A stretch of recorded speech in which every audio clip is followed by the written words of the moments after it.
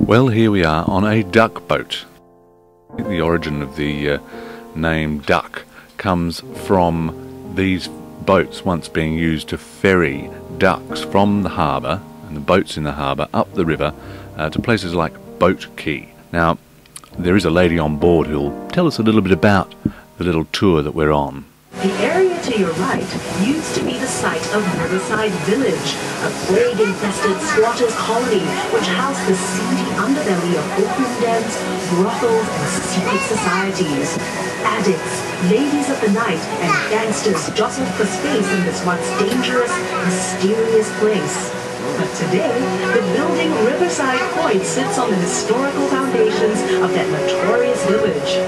No dangerous and seedy, but a delightful waterfront dining oasis that boasts its very own microbrewery. Perhaps you'd like to return by foot to explore all these fun possibilities. Did you know that the paths along the Singapore River make up one continuous looping promenade that connects everything you see along the riverbanks? Take a leisurely stroll and soak in the atmosphere along the six-kilometer promenade that flanks both sides of the river. As you take in the sights and sounds, you'll be comfortably shaded by lush greenery and definitely tempted by the many shops and cafes along the way.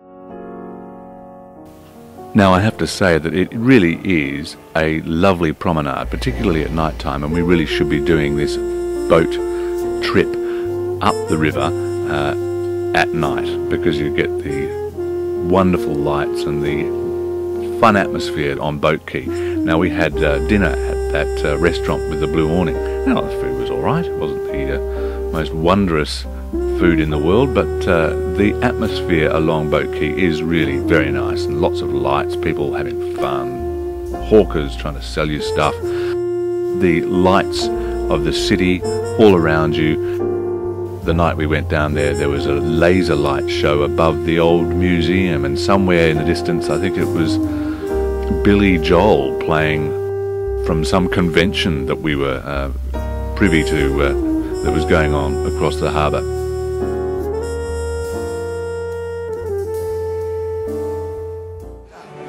On your right is Boat Quay, and its stretch of colorful, quaint shop houses. It was completed in 1842 and is Singapore's very first quay. At its peak in the 1860s, Boat Quay handled three quarters of Singapore's total shipping business. The sheltered riverbanks made excellent loading and unloading places. Back then, the whole river was chock-a-block with thousands of boats transporting a whole myriad of goods to be traded by the merchants who had set up shop in that row of buildings on the bank. Some of those goods included seafood, spices, and rubber. The precious cargo was shouldered across gangplanks by immigrant laborers known as coolies, whose blood, sweat, and tears formed the very backbone of our nation's rise to prosperity. Wonder why all the shop houses are concentrated on just one embankment of Boat Quay?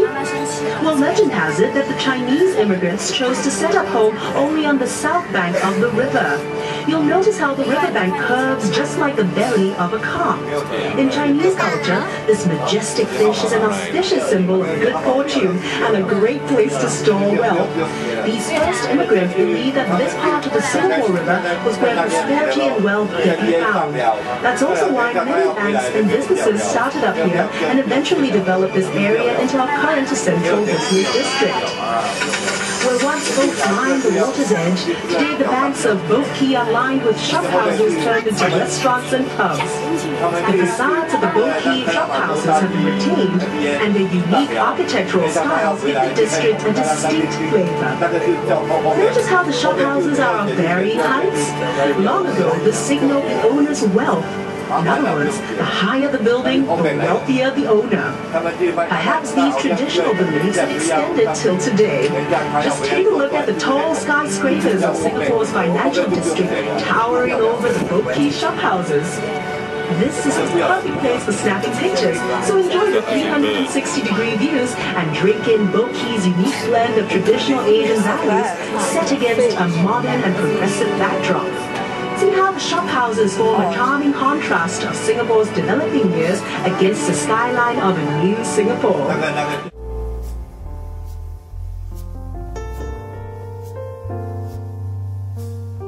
Standing tall and majestic is the exclusive Fullerton Hotel, which blends the elegance of old world charm with every modern convenience. Built in 1928, lots of paper pushing went on behind the hotel's splendid columns before its glamorous makeover. Its facade is a masterpiece of neoclassical grandeur, which belies its much stuffier original occupants, the Chamber of Commerce offices and the General Post Office, in which mail was transported along the Singapore River to and from ships. Since the 1950s, this was also the site of many political campaign rallies, but even longer before that, it was occupied by Fort Fullerton, built to defend the town at the mouth of the Singapore River. So dumb. This promontory to your right used to be home to the merlion, Singapore's half-lion, half-fish icon. The Merlion stood guard here at the river mouth for 30 years before it was hauled by barge to its new home in Bay in 2002. As we make our way out into Marina Bay, you'll be able to see the Merlion for yourself and hear all about its story. It really is a very relaxing boat ride, and you do get to see quite a lot of Singapore city from the river, really. Um, and look, you see in the distance the uh, the building that looks like sort of cricket stumps. It's the Marina Bay Sands, and uh, it's an incredible sort of shopping centre come hotel with bars and clubs um, and a marvellous restaurant with incredible views across the harbour and back across the, around the city of Singapore. It's just incredible. We're just underneath the Esplanade Drive. These bridges are great. I'd love to have been a architect who built bridges. I've met a couple and they seem really happy.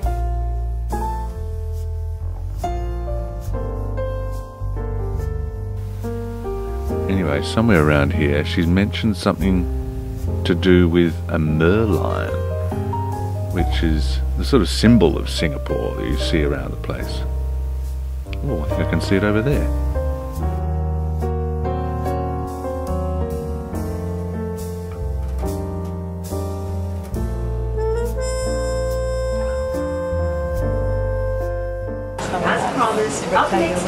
Merlion Park, home of the original Merlion statue.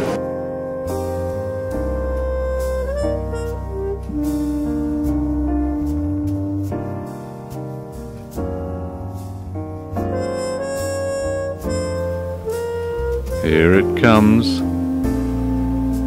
Where is it? Where's that merlion? The lion's head represents the lion spotted by the legendary Sang Nila Utama, while its fishtail symbolizes Temasek and Singapore's humble beginnings as a fishing village.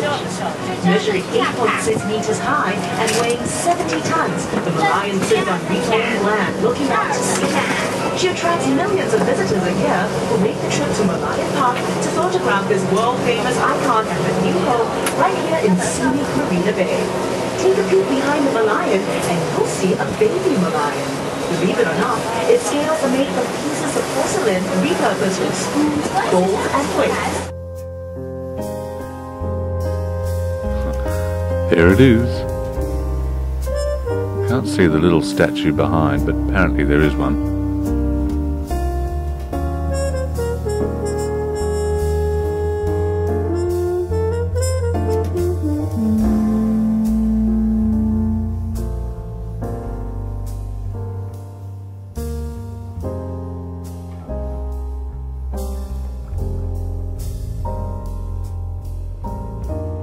So, really, just sort of cruise along and enjoy the ride.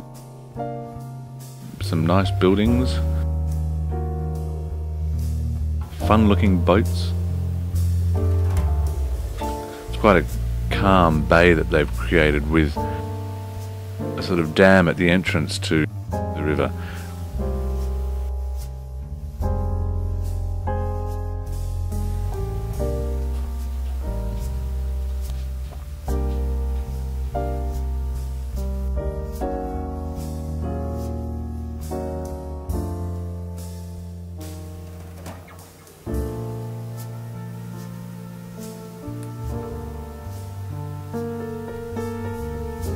The uh, central business district, the sort of banking area.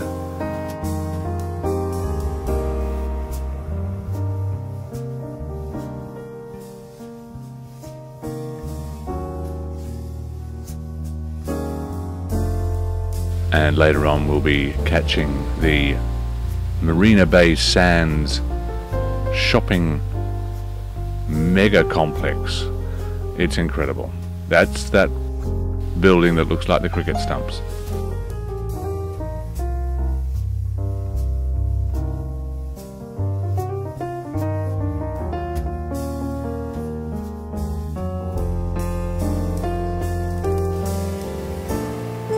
There are really some uh, pretty impressive buildings. I like this little one here. Like a UFO.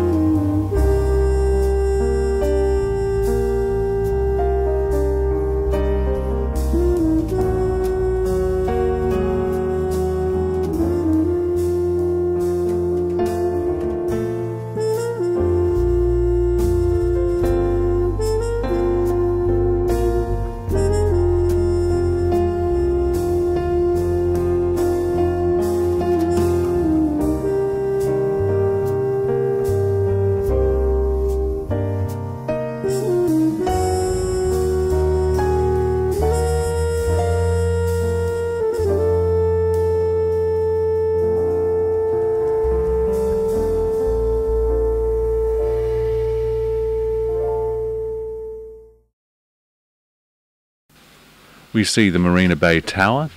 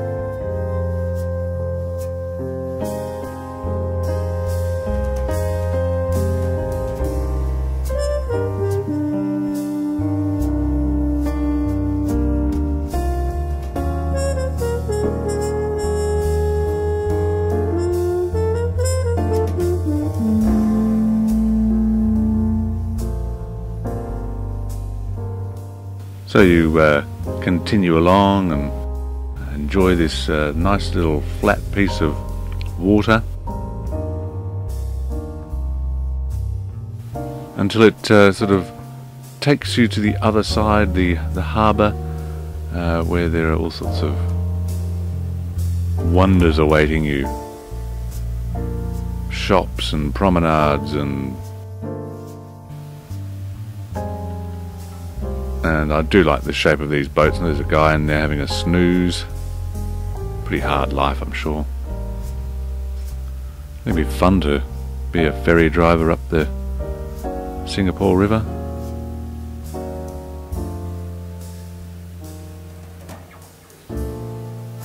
The buildings are pretty impressive. And it's a lovely little city really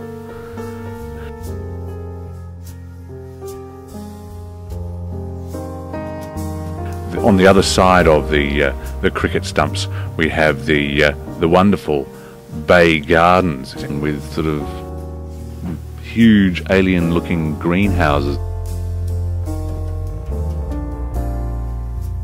And then you have the wonderful sort of view over the city with the thunderstorm rolling in.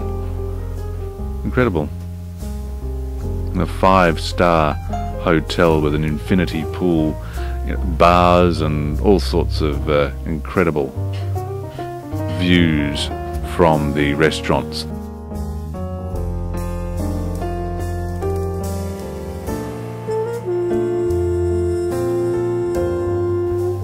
And the building that we uh, talked about, the cricket stumps, it's actually designed to look like a ship.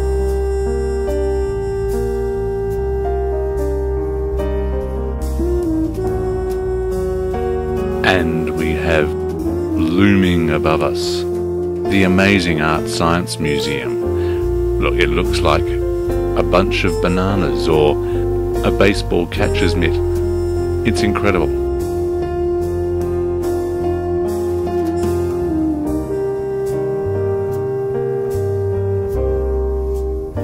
The Singapore Flyer, another amazing structure similar to the London Eye. We didn't make that either, unfortunately, but I understand you can have dinner in the individual cabins, I suppose you call them, on the Ferris wheel. We float casually past the Singapore float at Marina Bay. Clearly a uh, sporting arena.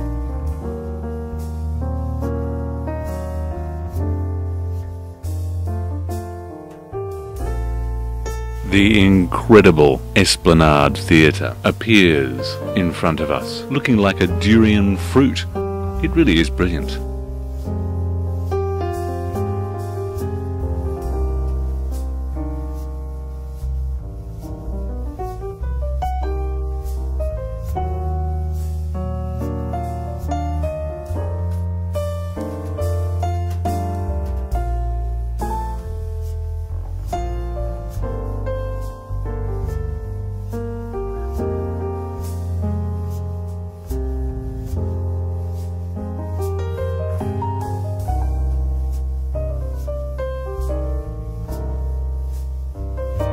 And we now see the promenade on the northern side of the Singapore River with the Civilizations Museum.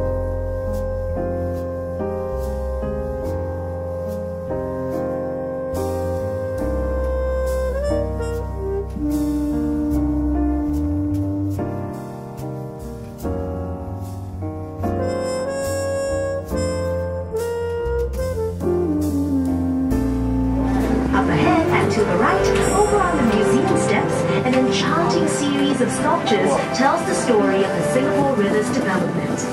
Meet our nation's pioneers, coolies, merchants, traders, and financiers, all immortalized in beautifully cast bronze. And that's all we have time for at the moment. I hope you've enjoyed the tour.